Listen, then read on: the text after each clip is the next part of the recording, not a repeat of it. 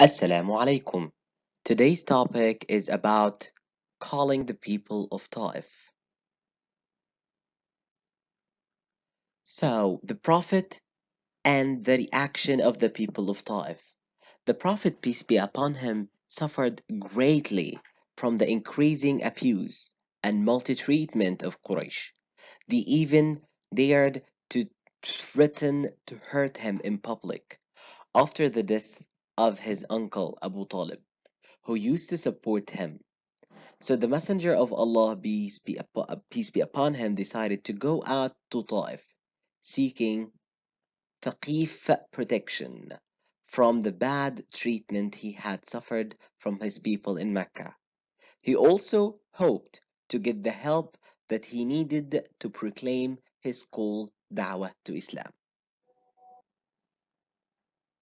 In Ta'if, the Messenger of Allah, peace be upon him, met three of the city prominent figures. He called upon them to accept the message of Allah, glory be to him, and to support him in proclaiming his call to Islam. But they reacted with mocking and ridiculous. And the Messenger of Allah, peace be upon him, was very sad and depressed. Before leaving, he asked the three brothers not to tell Quraysh what had discussed with them. But they did not do that. Instead, they provoked their hooligans and slaves to insult the Prophet, peace be upon him, shout at him, and hit him with stones until his heels were bleeding. The Prophet, peace be upon him, came to the ark owned by the Utbah and Shaybah, Rabi'ah's sons. He sat in the shade of a grape tree to catch his breath, in a state of severe sadness and grave. He turned to Allah, glory be to Him, to complain to Him, saying, O Allah, unto you do I complain of my weakness, O my helplessness, and of my loneliness before men. O most merciful of the merciful, O Lord of the weak, and my Lord too, into whose hand have you entrusted me? Unto some far off stranger who receives me with hostility, and unto an enemy whom you have empowered against me. I care not, so as long as you are not angry with me. But your favoring help is burner way for, for me. I take refuge in the light of your countenance, whereby all darkness are eliminated, and all things of this world and the next are rightly ordered. Last, least, you make descend your anger upon me, or least your anger surrounds me. I should remove the cause of your displeasure until you are well pleased. There is no power and no mighty except through you.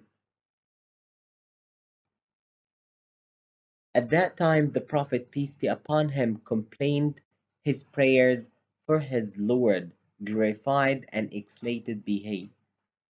The two sons of Rabi'ah were looking at him and listening to his prayer.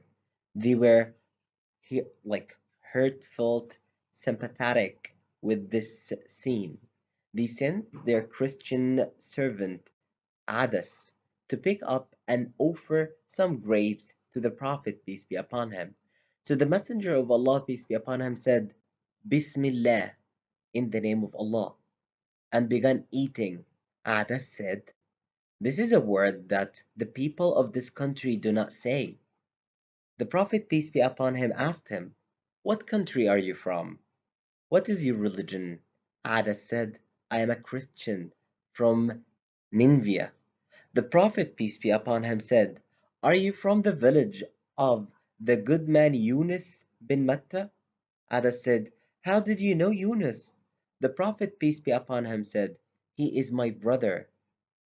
He was a prophet, and I am also a prophet. Adas couldn't contain himself. He kissed the Prophet's head, hands, and feet. When Adas returned, his master said to him, Shame on you! What have you done? Adas said, referring to the Messenger of Allah, peace be upon him, There is no one on earth better than this man. The Prophet, peace be upon him, returned to Mecca and entered it under the protection of the under the protection of the Mutayyim bin Adi. Our messenger is an excellent example of tolerance and kindness. When the leaders of Ta'if rejected the call of Islam, the Prophet, peace be upon him, was deeply saddened. So he left with deep distress on his face.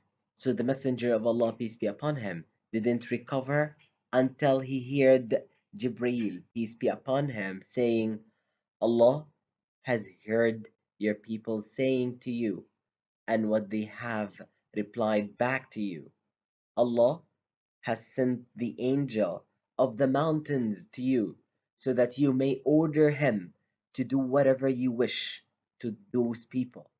The Prophet, peace be upon him, said, No, but I hope that Allah will let them beget children who will worship Allah alone and will worship none beside him.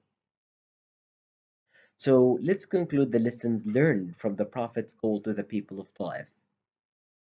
So Islam is a message to all humanity. It's not a specific for race or a tribe or any kind of people or a specific people. It's for all humanity. Steadfastness on the truth and the tolerance on tolerating harm. Man should say the truth and abide by it. Responding with kindness to bad treatment. Thank you, Winchester School. Wish you all the best.